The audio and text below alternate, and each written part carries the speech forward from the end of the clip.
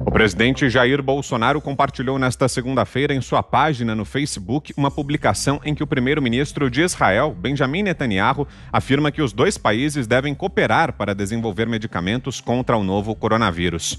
Diz a mensagem de Netanyahu. Falei ontem por telefone com o presidente brasileiro Jair Bolsonaro, que nos parabenizou pelo sucesso da campanha de vacinação em Israel. Concordamos em cooperar no desenvolvimento de medicamentos e vacinas contra o vírus corona. Espero que nos encontremos em breve. Além disso, na legenda que acompanha a imagem, o presidente brasileiro faz uma menção a um tratamento da Covid-19 por spray desenvolvido por Israel.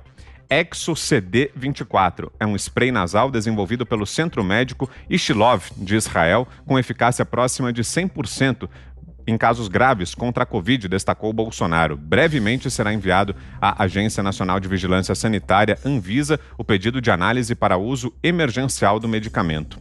Na sexta-feira, em outra rede social, Bolsonaro já havia relatado a conversa com Netanyahu sobre o spray contra a Covid-19. Na ocasião, o presidente manifestou interesse do país em participar dos testes clínicos do ExoCD 24. É o nosso primeiro tema, então, do programa desta segunda-feira. José Maria Trindade, como vão essas negociações? Existe mesmo a possibilidade de que em breve tenhamos a liberação aqui no Brasil desse spray mencionado aí pelo presidente Bolsonaro? Existe, existe sim. Olha, Vitor, há uma má vontade da academia com o presidente Jair Bolsonaro e com todos que o apoiam, inclusive o ministro da Saúde, Eduardo Pazuello.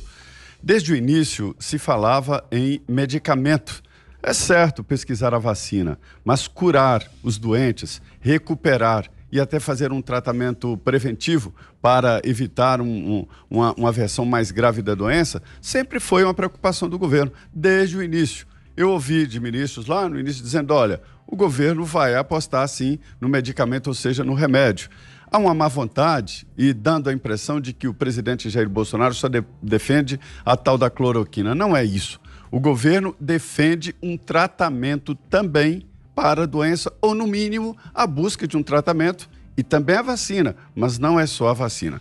É muito complicado, é, é, tratamento contra vírus é muito difícil, é, é mesmo uma, uma, gestão de danos, não é exatamente o, o combate ao, ao, vírus através de um medicamento, mas é muito, muito interessante que este acordo seja fechado os últimos resultados em Israel, tanto em vacinação, como redução através da vacinação do número de mortes e a possibilidade de um medicamento, está sendo, há muito está sendo estudado. O ministro de Ciência e Tecnologia, Marcos Pontes, me disse que eh, existem vários estudos no Brasil e que alguns deram resultados importantíssimos in vitro, né, in vitro, que é no laboratório, mas que na prática não foi assim tão eficaz. Enfim, é preciso sim pesquisar também, além da vacinação, além da vacina, medicamentos. Eu não entendo por que este cancelamento e esta ideia de que não se pode também pesquisar medicamentos, né?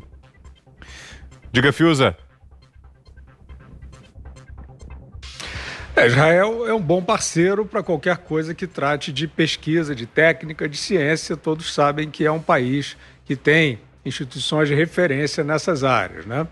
O importante para qualquer uh, parceria na, na luta contra a Covid, seja tratamento, seja medicamento, seja vacina, é uma boa gestão de informação, que é o que está faltando até o momento. Né? O, o mundo, a comunidade em geral, é, passou a ficar muito ansiosa por conta né, da, da, desejo de se livrar dessa pandemia, de se proteger dela, e, e a gestão de informações ficou prejudicada. Então, é preciso tratar todos os, os esforços é, é, é, de, de, combate à doença, de, seja tratamento precoce, seja de tentativa de imunização, nos estágios em que realmente estão. Vem aí o spray. Não adianta você é, vir dizer mais uma vez, como se fez com a vacina, que chegou a panaceia. Não chegou a panaceia. Você está no estágio de testes, no estado de, no estado de avaliação. Né? A verificação dos resultados de eficácia e segurança para qualquer uma dessas linhas terapêuticas demora. Demora porque os indivíduos são diferentes entre si e demoram é, é, individualmente a, a, a reagir. Né? Então, é isso. O, o, país precisa, de fato, montar é, boas parcerias. Agora, precisa principalmente criar, e, e eu espero que em Israel isso esteja acontecendo de uma maneira mais eficaz que no Brasil, é criar programas de proteção aos vulneráveis. Né? Nós vamos atravessar essa pandemia até o fim dela sem nenhuma certeza de terapêutica é, inteiramente eficaz. Né? Isso não vai acontecer, a não ser que, é, que aconteça o que alguns dos alarmistas tentam dizer, né? que nós vamos ficar reféns é, para sempre dessa situação de exceção. Eu não acredito nisso, não tem né, histórico né, na, na, na, literatura epidemiológica de uma situação como essa.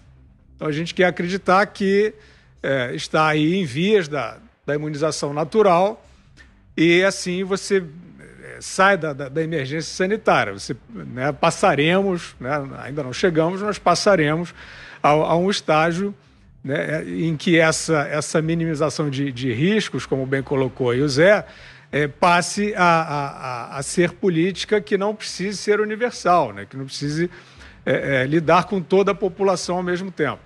É, no momento, o grande defeito do combate em todos os países é esse: é você é, tratar com uma política é, é, é única, uma política total e eventualmente totalitária, todos os grupos que reagem de forma diferente entre si ao problema da Covid.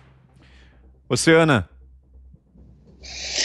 Olha, Vitor, uh, que bom que mais uma frente aí, né, se abre, mais um caminho, se abre mais uh, uma esperança aí, a gente pode uh, acreditar e querer acreditar que esse caminho, essa frente vai ser interessante para todos nós. O que não dá para a gente aceitar mais é a politização absurda de tudo que aparece uh, como tratamento aí paralelamente à vacina. Parece que existe uma politização e uma forçação absurda e muito robusta até é, em relação a empurrar a vacinação, uma, uma vacinação e vacinas que não passaram por todos os processos científicos. A gente pode debater aí o toque de caixa que ela foi criada, todas elas uh, até a fase 3, mas a verdade é que daqui para frente muito dos efeitos colaterais dessas vacinas eles acontecerão e eles aparecerão aí à medida que as pessoas são vacinadas. Ah, então, é, mais uma vez, a gente tem que celebrar que outros caminhos estão ah, se abrindo.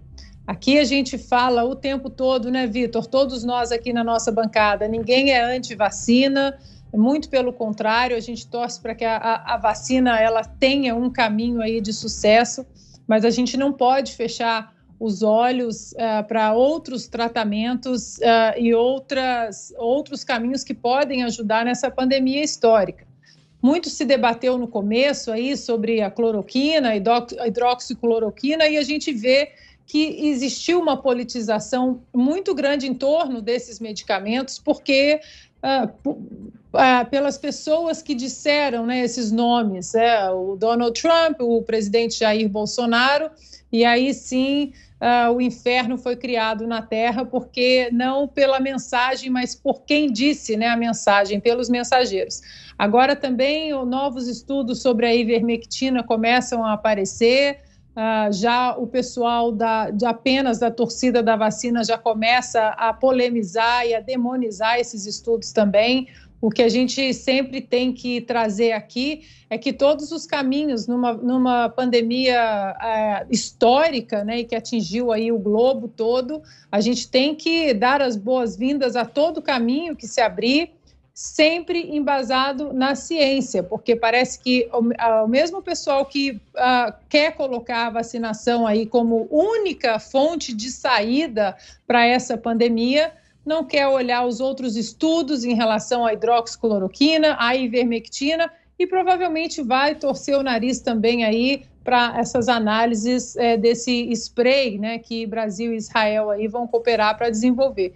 Então, é a gente está aberto às discussões e como o Fiuza sempre coloca muito bem aqui, a gente tem sempre que enaltecer esse ponto.